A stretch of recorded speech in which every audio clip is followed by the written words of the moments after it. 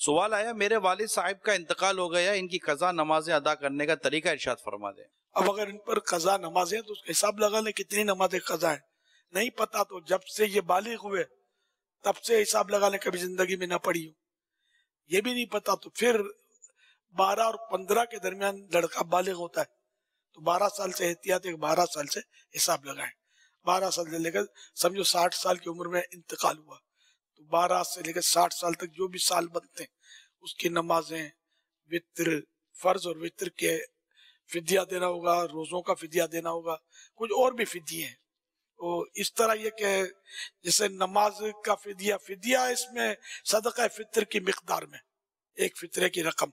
तो सपोज़ करेंगे वो सौ रुपए की बनती है तो एक नमाज़ का फिदिया आज की तारीख में, और आज तारीख है अट्ठाईस रबी अव्वल शरीफ चौदह सौ बयालीस नजरी और अंग्रेज़ी है चौदह नवंबर 2020 तो ये सौ बनता है। तो अब एक नमाज़ का सौ रुपया समझो हो गया।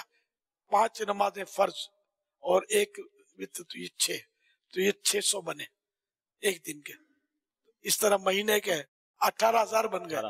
अठारह हज़ार। बन गए और साल भर के बारह से जर अठारह हज़ार को दे दें तो जितने बने। हाँ यूँ बढ़ते बढ़ते अला हजल कयास। दो लाख सोलह हज़ार साल के बनेंगे। दो लाख सोलह हज़ार बन गए। दो लाख सोलह हज़ार में अगर तीन हज़ार प्लस कर लेंगे तो ये एक साल के रोज़े और नमाजों का दो लाख उन्नीस हज़ार बन जाए क्या बात है। दो लाख उन्नीस हज़ार। तो यूँ एक साल का हो गया।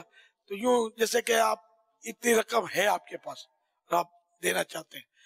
तो ये भी तरीका है इसका हीला शर्री की इजाज़त है इसमें कि किसी फकीर शर्री को जो हकदार हो जिसको जक़ात दी जा सकती हो, ऐसा कोई फर्द आप की अंडरस्टैंडिंग है किसी से तो उसको ये दे दें। नमाजों और रोजों के फिदिये के हिसाब से, वो इस नीयत से, उसने इसको पकड़ लिया, कब्जा कर दिया। अब उसने आपको गिफ्ट कर दिया। आप इसको अपने कब्जे में ले लिया, पकड़ लिया। आपने फिर उसी नीयत से, साल भर के फिदिये की नीयत से दिया। तो ये लौट फिर लेन देन करने से वो आपके साठ साल तक का या सत्तर साल जो भी हो, ये सारा फिदिया इंशा अल्लाह अदा हो जाएगा। ये मुफ़्त में हो जाएगा ये अदा। ये हिला ने लिखा है।